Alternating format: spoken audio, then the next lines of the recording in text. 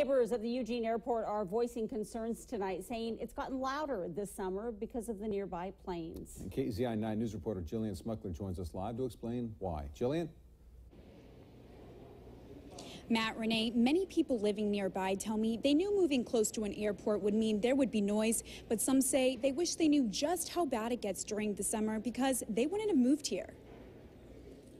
When we first moved here, um, I think it was 205, um, there were not a lot of noises. As a matter of fact, had I known, I would not have moved there. Samuel Brackett has lived by the Eugene airport for the last 14 years. He says in recent weeks, the noise from planes taking off and landing has gotten worse. Loud, boom sounding noises. Um, I think up until 11, maybe 12 o'clock at night. It's deafening. It's, it's, um, it's very, very loud. That's because he lives by the secondary runway, the only runway that's being used this summer. Andrew Martz with Eugene Airport tells me the main runway will be shut down until September because of construction on the taxiways. The reason the sound has gotten increasingly worse for neighbors like Brackett is because every single plane that flies in or out of the airport is on the east side, which lines up perfectly with his subdivision. Usually they use both runways, but now the traffic patterns have changed. Martz says it all comes down to safety and making sure everything is up to code for the well being of flyers. But that doesn't ease neighbors' minds completely. I might have to get